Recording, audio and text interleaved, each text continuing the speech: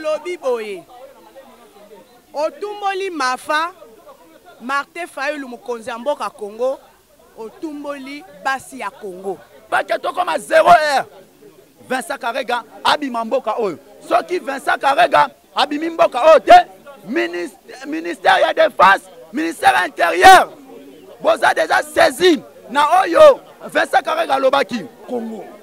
Napesi 48 heures. na ambassadeur ya rwanda abloke biro na ambassade azonga na mboka na bango totikaki so na miko oyo eseneki le début de le commencement oyo tokosala miko ezali koya awa bafraki jong bakostatike biso bacongolais toza pour bango te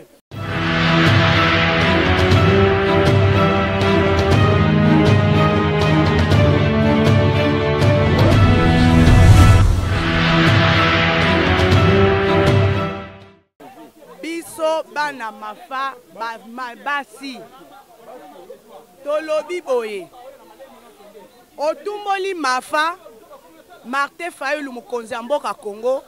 otumboli basi ya congo lokola ye ambasadere ya rwanda akanisi lokola kagame nde adirijaka na chilombo alingi akota na personnalité ya Martin Fayulu oyo Kagame ye moko président na ye ahonoraki alobi ke soki eza na bato 10 ekozala na Rwanda ezali Martin Fayulu me na ndenge nini Martin Fayulu wana ye Kabare akende kofinga ye ye ayebi ba crime asalaki na Afrique du Sud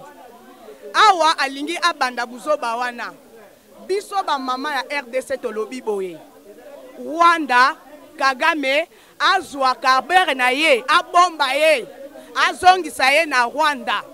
soki te akokufa na kati ya rdc ba maman ya rdc balobi boye Kabare Rwanda badirijaka na Tshilombo aza mwasi na bango Martin Fayulu te mpo ye nde aza president reellement eli en République démocratique du Congo. Malgré basala kilulashif na bango, Tshisekedi aza usurpateur. Ye ayiba pouvoir. Azosala eloko pe te. Le changement de la RDC s'appelle eh, Martin Fayulu Madidi. Ouais, problème euh, eza boye. Biso bana Congo le moment que oyo toza nango na mboka na biso eza moment ya ko ya ko blague lisusu te Vincent Karega mbala ya liboso toprotestaki mpo na bapropo atenaki ya koboya génocide ye Vincent Karega aboyaki génocide oyo barwandais basala peuple congolais tolobaki tolobaki tokanisaki azali mutu azwaki mayele mais aza toujours ko continuer na ba propos oyo ezali kokende tout droit na bakambi na ba leader ya politique ya mboka Congo biso tolobi boye Vincent Karega ce n'est pas le président Martin Fayulu qui l'a appelé dans ce pays soki alingi abanda koloba n'importe quoi alobela bato bamema ye na mboka oyo oh, ce n'est pas le président Martin Fayulu alors nous les peuples congolais nous sommes là pour défendre l'intérêt de notre pays soki vincent karega akolinga makila ya peuple congolais etanga ndenge babomaki biso na moment ya génocide nous sommes prêts de mourir pour, pour notre propre pays mpo toza na mboka mosusu te ye aye na mboka oyo kofinga bacongolais koloba ba n'importe quoi après des années des années bakozwa ye bazongisi ye rwanda babombi ye biso tolobi boye Vincent Karega a quitté Congo avant que tokoma 0 heure. Vincent Karega abima mboka oyo. Soki Vincent Karega abimi mboka oyo te, ministère ya défense, ministère ya intérieur boza déjà saisi na oyo Vincent Karega alobaki. Lokola boza ko se réagir te, biso peuple congolais toko réagir autrement. Maloba na ngai yango wana.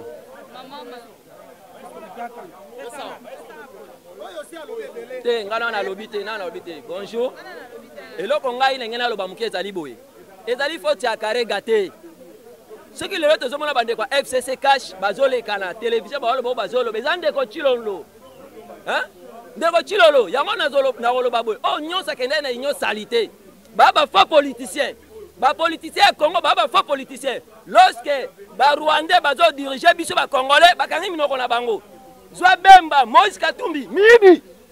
miyibi balongwa mbangu mpo babundela peuple congolais bakelende baintere ya mabumu na bango lelo bakomi bana misala ya gagame soki lelo gagame azoloba na kati ya congo grâce ya bamiyibi wana miyibi bakabiliste baki kokosa biso peuple ebongo totala na 2023 bayela biso baloso na bango lelo un rwandais azo komanke congolais bapolitisien congolais bakangi minoko na bango miyibi lokuta ya batata minene na bamama minene lokuta ya minoko na bango bayuma ya pamba pamba boteka kongo epai ya gagame gagame soki akomi kosala oyo nyonso okomi kosala wa foti ya chilombo foti ya bato nyonso babemba moise oyo bandimaki kosoutenir gagame Bana misala ya gagame bolobaka kabila gagame moto atinda yao kale kabila te chilombo na mosala ale bino bamikolo bokomi bana misala ya chilombo baaventurier miyibi ya batata lokola bote mosala koyiba mbongo ya peuple koyiba mbongo ya peuple general kasongo nalingi natalisa yo kobungaka to elaka congolais yebisaka biso malamu malamu okoma so toyoba likambo ya rwanda ekomi likambo ya la police congolais telema me ekoma na bapolisier bakuluna miyibi boyibi mbongo ya ndeko na ngai bapolitisien congolais boyibi mbongo boyaki koyiba batelefone na biso na bacombo miyibi boza miyibi bapolisier miyibi de voleur boketi wapi salaire ya kombe bozozwa bozo souffrir ntango nyonso bolobela biso awa miyibi bobiki bobiki bobiki mpo tomikokelaki bien te nde lelo gaga malingo asantili biso eloko etikali sikoyo tokofrape général kasongo général kasongo olandaka biso malamu combien de boloko okotisi biso combien de boloko batelefone na biso le bambongo na biso le général kasongo rwandais oza rwandais okotela oh, barwandais na kati ya mboka oyo bemba moïse bino mpe ndenge moko bakabiliste miyibi Ba faux politiciens Congo. Lelo miso ayembaki aboyoka ngai. Eh. Ngai ngai nalobi boye mpo na ambassadeur ya Rwanda. Eloko ngai nakoloba oyo eza ke biso tozo défendre cause ya mboka na biso Congo. Jamais biso tokoki kotika un étranger, ba étranger à tout moment baya ko coloniser mboka, baya kokonza na kati ya mboka. un ambassadeur rwandais azo audace ya koloba na président élu par le peuple na kati ya mboka oyo alors biso tokosepela na eloko wana ata moke te yango tozo mettre ye angar asala bétise na ye na bato oyo bakotisa ye na kati ya mboka oyo baoyo bayaka na ye na kati ya congo akende asala buzoba mais ndenge ameki atie mosapi epa président élu martin fayulu madi ayeba te oyo azali bras droit ya peuple congolais aza espoir ya congo nde toza boye na minute oyo baoyo nyonso bazalaki entourage na ye bango nyonso balandi union sacré bake kokabola bagato na bango mais biso toa na ye esengeli azala lese batika ye calme baoyo bamemaki ye na rwanda bamemaki ye na kati ya congo awa asakana na bango mais asakana na président elu martin fayulu te puiske na minute ozoloba sans, sans congo rwanda ekoki koexiste te bango bazobénéficie na kati ya mboka na biso bazo bazo vivre au départ ya Congo mais soki basakani na Martin Fayulu Madidi na président élu bayeba ke wana biso toko s'en charger na ye pe to mettre ya garde akata ameka a ose en aucun jour aloba lisusu concernant président élu po mboka na biso lelo so ekomi boye tokomi par terre grâce ya barwandais barwandais bapiye mboka na biso barwandais bazokontinue kopiye mboka bazokontinue kozwa audace ya kofinga bayi mboka Martin Fayulu Madidi aza mokolo mboka, c'est un 100% congolais. aza étranger te mais d'où vient que yo étranger owuti mosika oya kofinga mokolo mboka eske ezalaka nyonso wana eza politike ya mabe bakombata ya mabe na kati ya mboka na biso bakombata basoi disant ke aza kombata ya congo mais aza corrompi à un moment donné aza na majorité à un moment donné ake na opposition baza bapoliticien moko ya mabe bakombata ya mabe oyo bazogere mboka bonjour maman journaliste réaction na ngai ezali boye le président élu martin foelu madidi azalaki claire koloba ete kagame nde aza kodirige ekolo congo tomoni yango na misu ambassadeur wana aose contre le président élu oyo population apesaki mandat mpe pouvoir mais kagame na kabila bamanipule mpe basali magui ya kozwa pouvoir ya président bapesa na tshilombo moto atindi bapolisier wana ezali tshilombo mpo aprotege un rwandais na ekolo ya congo yango tolobi na tshilombo boye lokola okabi mboka congo na maboko ya barwandais biso bana congo tokotelema mpo tobengana yo na kabila na ambassadeur wana botika congo napesi 48 na ambassadeur ya rwanda abloke biro na ambassade azonga na mboka na bango soki azongi te tokotika nzela te tokozala toujours na nzela ya suka toyokopesa na ambassadeur rwandais oyo azali na kati ya congo biso bana mboka oyo biso bacongolais topesi yo avertissement lelo lelo ezali carton jaune topesi yo ezali avertissement topesi yo 48 heures obima na mboka oyo 48 heures yo tisekedi tshilombo yo moto ali kotindela bakongomani bosali association na yo na kasongo botindela biso la polise la polise na biso Ba inféodés ba rwandais bokoti ba rwandais mpo baboma biso bakongomani na mboka na biso bakokoka te topesi bino carton rouge aza na 48 heures na mboka oyo soki azongi rwanda te azongi rwanda te na ye na chilombo bakotika mboka oyo mpo congo oyo appartient au congolais le congo est au congolais Oui, je suis nazali vraiment na esengo makasi kozala kati na esika oyo voilà tokendaki ntina ambassade ya Rwanda tokendaki koaverture Mese Karega par rapport à bapropos na ye oyo atenaki à l'égard du président Eli Martin Fayulu président oyo congolais mobimba se mobilisaki mpo akende kovote ye Eh ya mibale nazo kam eh, ezo kamsanga makasi par rapport ya reaction ya ndeko Frank Diongo oyo atelemelaki Kabila ke azali rwandais. Lelo ndeko Frank Diongo azo contredire le président élu par rapport à réflexion na ye. Mais ezali simple, ezali clair. soki totali na kati ya armée na biso ezala fardc ezala la police bainfiltre bazali barwandais bazali soki okenda gouvernement Eh, ndakisa ya monsieur oyo nani oyo ministre ya decentralisation c'est un rwandais ayebani un rwandais reconnu bon nani yango oyo akocontredire yango moto akocontredire yango azali te alors lelo tokendaki mpo tokende komanifeste contre bapropos ya karega oyo azali étranger rwandais Aya koloba ba propos injurieux à l'égard du président élu. Topesi yo 48 heures. Topesi yo carton jaune.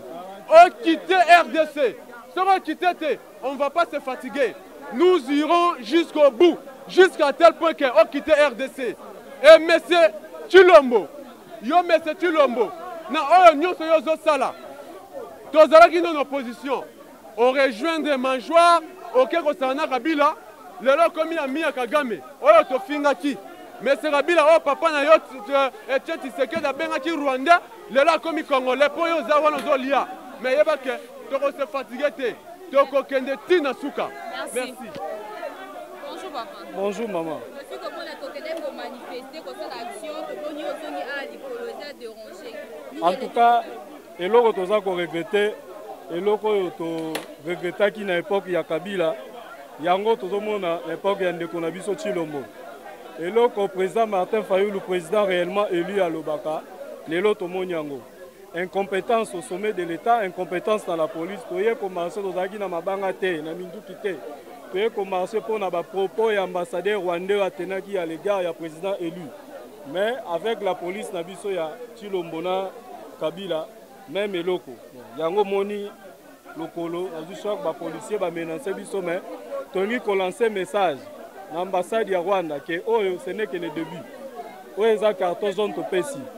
Karega il faut alongwa na mboka oyo il faut alongwa na mboka oyo toza na posa na ye te na Afrique du Sud kuna babenganaki ye pourquoi pas ah, biso mpe tobengana ye awutaki afrique du sud babenganaki ye mpona likolo ya kosaingere na makambo ya mboka ya bato ozomona mingi ya koloba eza te en tout cas nasepeli na basoldat du peuple nyonso bamouvement citoyen nyonso balandaki biso na marche ya lelo bonjour mama journaliste hmm, merci mpona motuna na yo mpe merci mpona maloba opesi ngai